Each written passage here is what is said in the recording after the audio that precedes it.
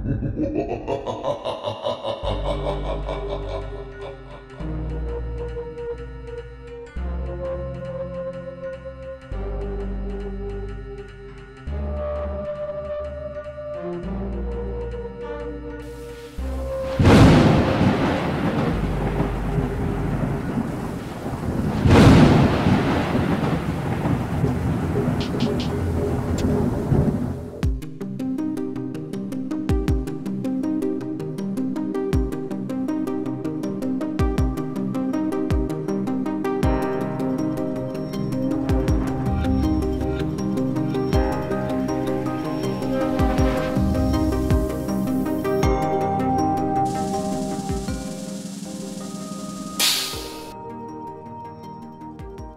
Aku tinggal di sebuah desa.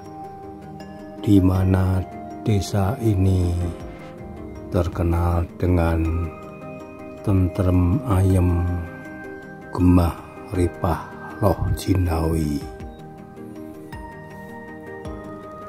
Desaku memang tidak begitu banyak penduduknya tapi selalu rukun warga di sini seperti ibaratnya saudara. Rumahku terletak agak terpencil, agak berjauhan dengan tetanggaku yang lain. Kebetulan memang dulu tanah dari leluhur sangatlah luas sehingga sepertinya menjadi menyendiri dari yang rumah-rumah yang lain. Tapi itu tidak menjadi masalah walaupun berjauhan namun dengan tetangga selalu rukun dan selalu sering bertemu dan berkumpul bareng terutama kegiatan-kegiatan yang dikerjakan bersama-sama seperti kala itu memang begitu rukunnya dari masing-masing warga dalam suatu desa. Namun kerukunan dan kesemaraan setiap hari baik pagi maupun malam. Pada malam hari untuk kali ini desaku terjadi suatu teror. Di mana pada malam hari yang biasanya ramai dengan anak-anak maupun orang tua yang bermain di luar saling bercengkerama dengan keluarganya baik di halaman maupun di gardu ronda kali ini mendadak sepi.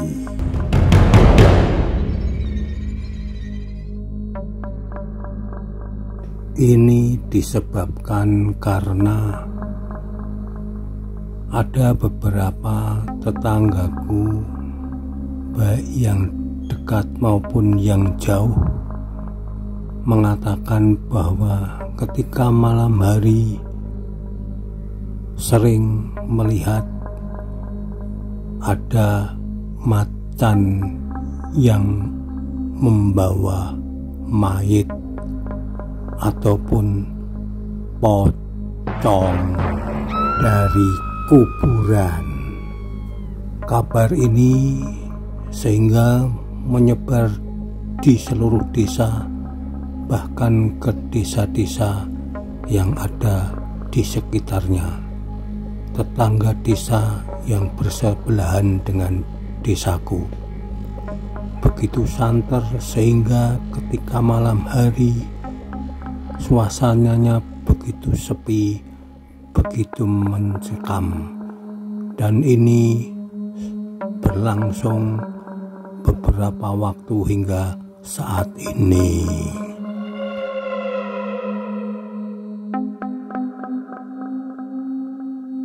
Setiap malam memang bisa dipastikan sudah tidak ada yang banyak keluar rumah.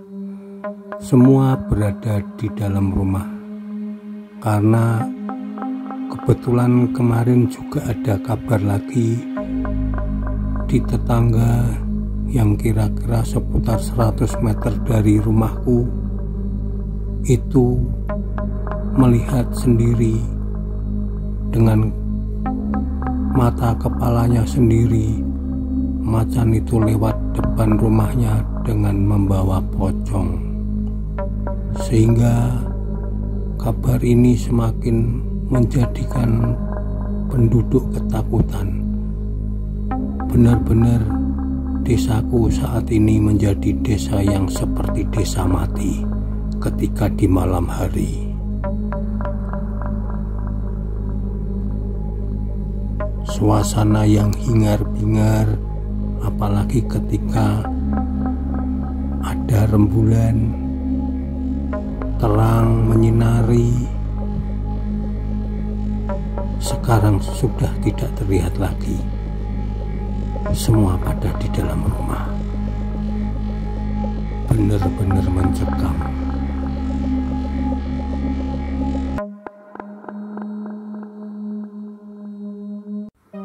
Siang hari ini terlihat banyak tetangga-tetangga yang berkumpul dan bercerita tentang keadaan di desa ini. Ada yang mengatakan, "Wah, itu pesugihan, itu pesugihan." Ada yang punya pesugihan, itu ngambil mayit dari kuburan ada yang bercerita oh itu macan tunggon macan tunggon temannya adalah pocong. Ada yang bercerita macam-macam yang bercerita dari masing-masingnya mempunyai pendapat sendiri-sendiri. Di keluargaku sendiri kadang ketika berbincang walaupun aku masih kelas 2 SD mendengar dari bapakku maupun mbokku opo yo ya masih kadang meragukan.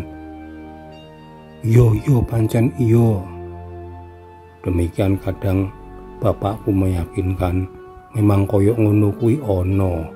Memang seperti itu ada. Demikian katanya dari bapak saya mendengar aku ketika itu. Dan pada hari ini aku kedatangan tamu. Sekeluarga kedatangan tamu, yaitu Pak Likku. Pak Lik itu kalau bahasa Indonesia itu Om. Om, adik dari bapakku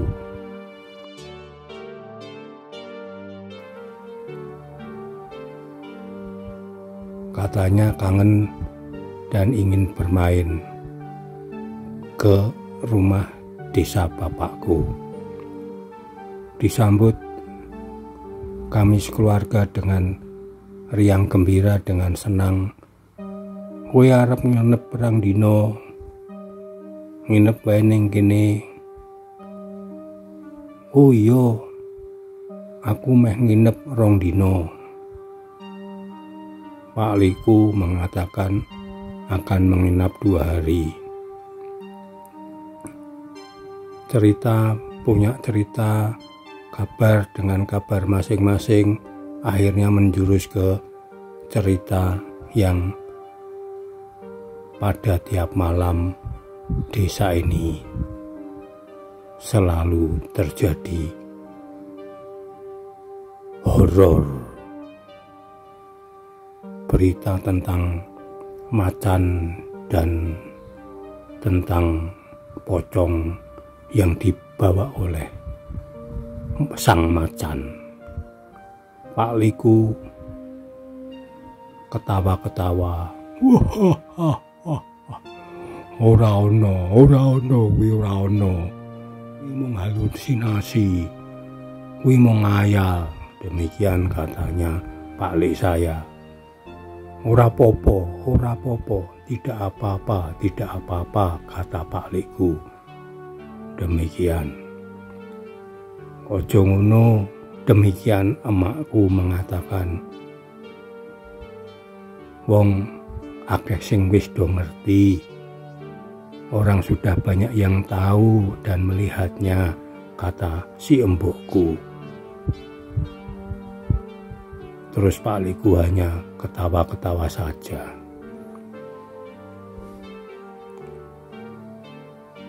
Tiba malam hari di mana sehabis maghrib terus kampungku menjadi kampung yang sepi. Memang dilihat dari dalam rumah tidak ada sekelebat pun orang-orang yang kadang lewat di depan dan ramainya suara-suara. Walaupun berjauhan karena suara yang di desa ini tidak ada gemuruh suara mesin seperti di kota apalagi saat zaman itu maka agak jauh pun akan terdengar suara dari keramaian-keramaian orang-orang. Dan ketika itu Pak Liku mengambil tikar. Yuh ning jopo, ayo keluar. Enggak popo, tidak apa-apa. Sembari membuka pintu dan menggelar tikar itu di halaman rumah. Sambil membawa kopinya yang sudah disiapkan embokku di meja dibawanya keluar. Embokku mengatakan, tidak usah di dalam saja. Nanti kalau ada tahu-tahu lewat kan malah bahaya. Demikian kata mbokku. Ora popo, tidak apa-apa, kata Pak Leku dan mengajakku. Yo, Le, neng jopo karo aku, ora popo. Akhirnya mengajak aku keluar. Aku pun saat itu kelas 2 SD. Ya setengah takut, setengah tidak, tapi karena Pak Leku meyakinkan bahwa tidak apa-apa, untuk itu aku ya mengiyakan saja. Akhirnya aku dengan Pak Leku berada di luar menikmati hawa di malam hari yang memang sejuk dan terlihat bintang-bintang di langit. Sungguh ini suatu keindahan yang selama ini aku selalu di dalam rumah karena adanya berita-berita seperti itu.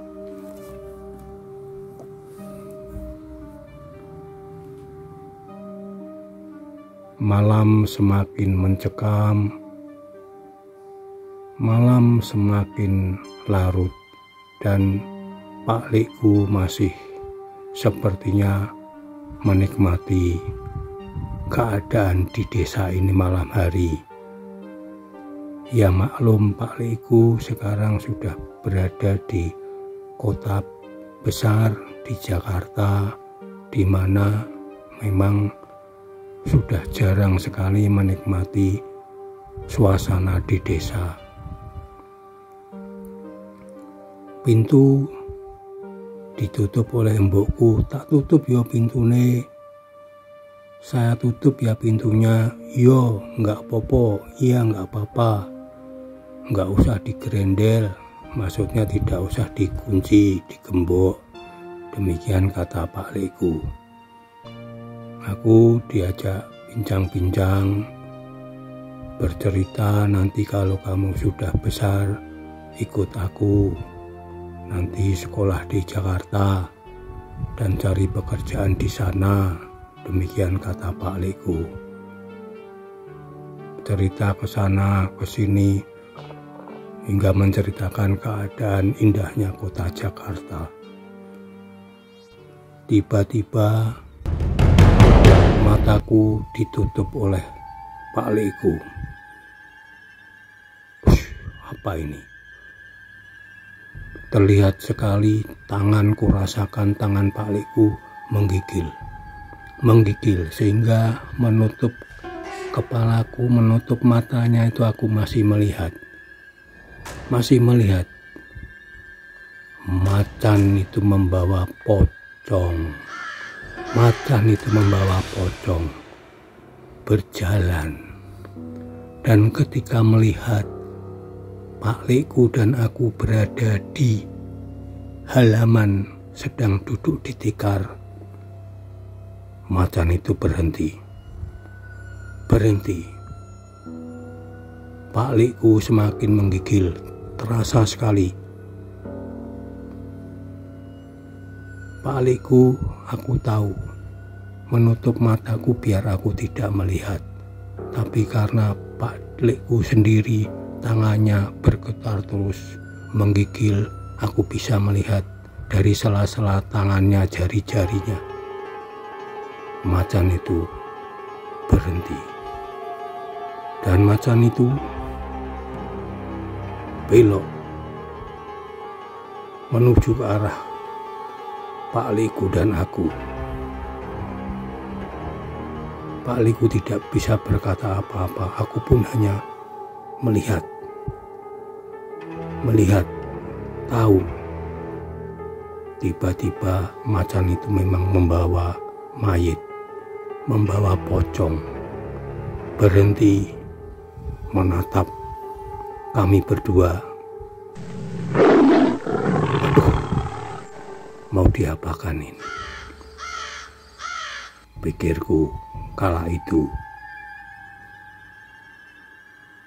Namun tiba-tiba macan itu membalikkan badannya. Kembali berjalan ke jalan dan menuju berjalan menuju ke arah yang nggak tahu entah ke mana.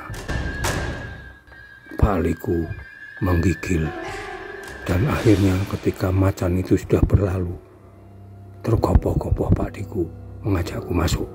Dia tidak bisa berkata apa-apa. Hanya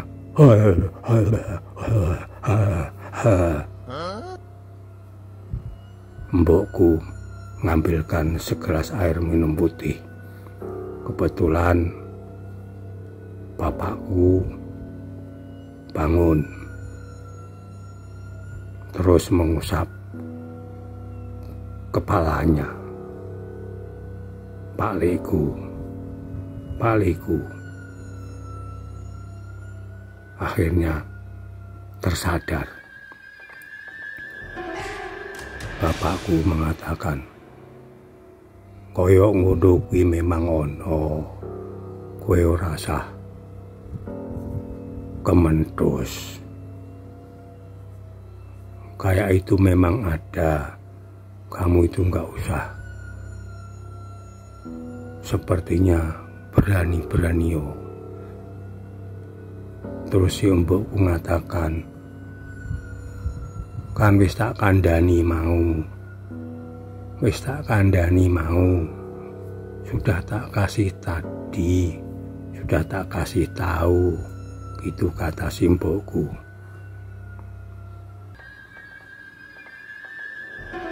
Kowe ndelok macan karo pocong toh? Demikian kata bapakku. Kamu melihat macan dan pocong toh? Kata bapakku. Iya mas, iya mas. Aku ngerti mas. Lagi kali ini aku tahu mas. Aku sendiri yang masih kelas SD. Masih mengingat dengan jelas. Memang ada macan itu dan pocong itu. Kalau teringat sampai sekarang, terngiang-ngiang aku masih merinding. Merinding. Tunggu cerita selanjutnya dari Mas Horizon de Costa. Selamat malam, salam hororisasi.